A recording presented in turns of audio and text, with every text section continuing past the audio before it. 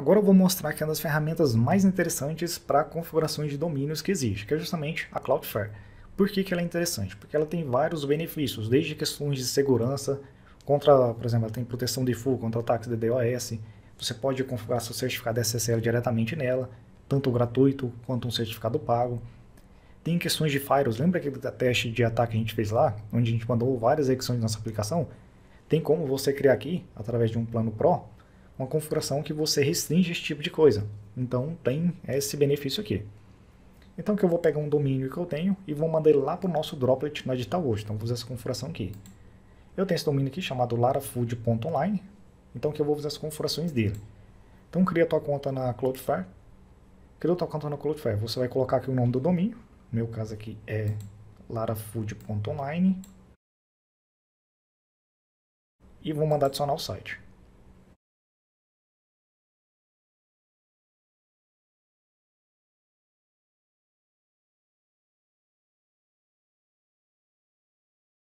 Aqui ele pergunta qual plano que eu quero utilizar. Aí você pode avaliar aqui se um plano pago é o que realmente interessa, porque quanto mais valor cara aqui, mais ele te oferece recursos. Eu vou utilizar o plano gratuito, já vai atender aqui para a maioria dos casos, maioria esmagadora. Ele já faz cache, tem uma porrada de benefícios, tem questões de segurança que ele já aplica também, até no plano free. Vamos aguardar aqui, ele está procurando nas configurações que esse domínio já tem estacionado nele. Vamos aguardar. Beleza? Veja que ele trouxe aqui algumas configurações já tem. Eu vou deletar tudo isso daqui. Eu vou zerar isso. Não quero nada disso. Deixa eu excluir aqui e já volto. Pronto, excluí aqui. É legal a gente zerar isso daqui, porque ele traz todo o histórico que esse DNS já tem. Exemplo, talvez você já tenha ali, nesse domínio, as configurações de MX de e-mail. Então ele já traria isso para você. Nesse caso que eu vou começar do zero, considerando que a gente tem um domínio que eu nunca trabalhei com ele. Então vamos continuar aqui. Vou falar que eu vou fazer isso depois, adicionar mais tarde. Aqui ele fala para remover esses name que estão lá e colocar estes daqui. Beleza? Então vou vir aqui no nosso domínio. Deixa eu voltar aqui no domínio. Lembrando que depende esse, esse painel que é o da painel da Goldera, onde eu comprei esse domínio, mas talvez o seu está diferente. Você comprar na Registro BR ou qualquer outro lugar que você comprou o seu domínio. Então vou alterar aqui, ele está mandando lá. Então vou colocar isso e isso. E vou remover todos esses outros aqui. Perfeito. Fiz exatamente o que ele mandou. Confirmo aqui. Então a gente tem meu domínio já está mandando para Cloudflare e agora aqui é com ela. Concluído. E vamos continuar aqui. Aqui nas configurações ele pergunta se ele quer que faça a reescrita automática HTTPS, ou seja, automaticamente ele vai redirecionar aqui o domínio para HTTPS, forçar o HTTPS. Inicialmente eu vou colocar aqui não, depois eu mostro como a gente habilita isso. Aqui no caso está perguntando se eu vou fazer a reescrita de HTTPS, aqui está perguntando se eu vou sempre usar HTTPS, também vou deixar marcado como não otimizar desempenho, ele pergunta se você quer minimificar arquivos JavaScript, CSS, HTML, eu recomendo não fazer isso, é importante que a tua aplicação já, traz, já traga o seu CSS modificado, ou seja, minimificado, importante isso, por, também, por default ele já faz cache aqui, essa opção que pode deixar também, a opção de carregamento mais rápido, enfim, pode deixar isso aí, e beleza, finalizei aqui, tá ok. Agora que ele vai guardar um tempinho para conseguir é, fazer esse direcionamento aqui. E agora o que a gente vai fazer? Fazer as configurações de DNS. O que demora aqui é de onde eu comprei meu domínio, mandar para a Cloudflare. A Cloudflare mesmo é extremamente rápida. Extremamente rápida mesmo. Propagação de DNS, tudo. Então vou vir aqui nesse DNS e vou fazer uma nova configuração de DNS. Vou adicionar um registro do tipo A, arroba, então, ou seja, quando digitar lá o nosso projeto larafood.online Vou mandar para o IP do nosso droplet. Então vem aqui pega o nosso droplet. Então curso DO. Pega aqui o IP dele, que é o IP público dele. Então vou mandar para cá. Beleza? Salvo. Deixa a opção com proxy. Novo registro. Agora eu quero, por exemplo, quando está www. Vamos colocar o ponto, então www.larafood.online. Manda também para o mesmo droplet. Legal que também, por exemplo, às vezes você tem ali um, um domínio é, larafood.online. Aí quer mandar, por exemplo, um, o blog para um servidor. Quer mandar o, o, pegar, o subdomínio. De mim para outro servidor, que está rodando no outro servidor. Então você tem essa liberdade aqui utilizando a Cloudflare. Bem legal também. Salvei. As configurações básicas são isso aqui para o nosso domínio. Já vamos fazer um teste ver se está funcionando.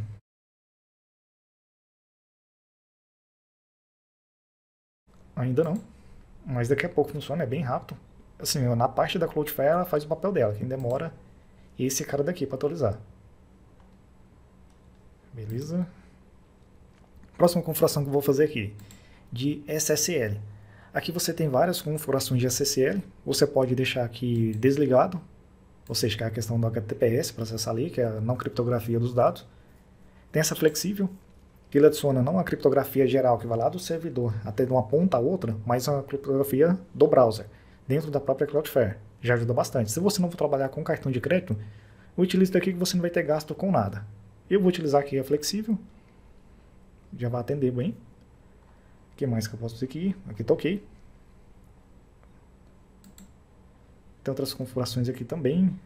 Certificado de cliente, certificado de borda. Deixa eu ver se não estou esquecendo nada. Aqui agora como eu falei que eu vou utilizar a criptografia flexível, ou seja, vai colocar o HTTPS, mas é dentro da Cloudflare, seja nesse time aqui, não lá do servidor e até o cliente, não é um ponta a ponta. Para colocar um ponta a ponta, o meu servidor precisaria ter um certificado SSL instalado nele, aí sim seria uma criptografia de ponta a ponta. Aí, se você for trabalhar com cartão de crédito, é importante esse certificado estar tá lá no seu servidor, ou no teu load balance, enfim. Então, vou sempre utilizar HTTPS, beleza? Reescrita HTTPS automática, então vou habilitar isso aqui para sempre que acessar ele vai forçar o HTTPS. Então sempre que acessar aqui ele já vai forçar o HTTPS. Beleza? E a configuração de SSL, por enquanto é isso. Próxima configuração bem importante aqui, Firewall. Lembra quando a gente fez aquele teste de ataque lá? Aquele teste de força bruta, onde a gente mandou várias requisições para o nosso projeto? Aqui você tem a configuração de Firewall, que é a regra de Firewall aqui, que você pode, deixa eu ver isso aqui mesmo, não, não é aqui. Gerenciar regras também não é aqui. Aqui em ferramentas. Você vir nesse submenu ferramentas.